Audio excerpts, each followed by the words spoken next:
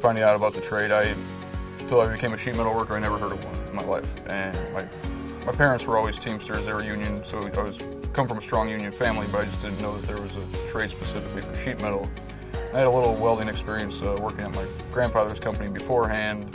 Um, I was laid off from there and was just looking for welding employment, and the shop I found in 2005 was looking for a welder, and it just so happened to be a sheet metal shop, so that's how I got into the trade.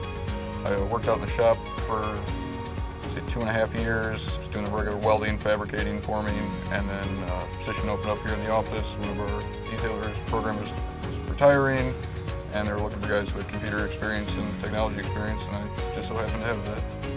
The thing I like about detailing and drawing is I get to use my artistic skill and artistic, you know, view of things and kind of create things. That's what I love about it. That's what I like about music and about art. And it's, you're taking a flat sheet of paper and you're turning it into something beautiful. Whereas here we're taking a flat sheet of metal and we're turning it into anything under the sun you could possibly imagine. I'm a night instructor with the union, so I teach safety classes and try to spread that to members. There's also um, upgrade classes that we offer to kind of help guys expand their knowledge, whether it be welding or AutoCAD or uh, architectural or HVAC. We do offer those classes, so I like to help out and be an educator that way. But I also like to go get into the local schools and spread the information about who we are and what we do to some of the high school kids and middle school kids who might not necessarily be familiar with us. One problem we face in the sheet metal trade is that we don't have a whole lot of name recognition. When you say carpenter, plumber, or electrician, everybody knows what you're talking about. When you say sheet metal worker, they think, oh, those are just the HVAC guys, if they know that information at all.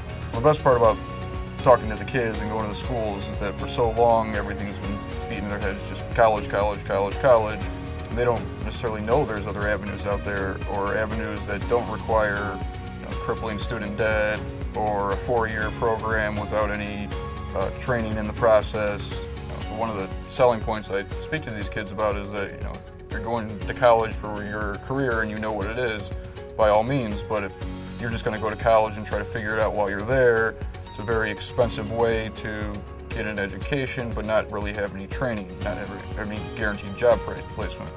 Know, what we offer is not only do you get a two-year degree by the time you're done with our apprenticeship, but you're on the job training, you're working four days a week, you go to school one day a week, you're getting paid the entire time, and you don't have to worry about job placement when you're done because you're already working in that trade.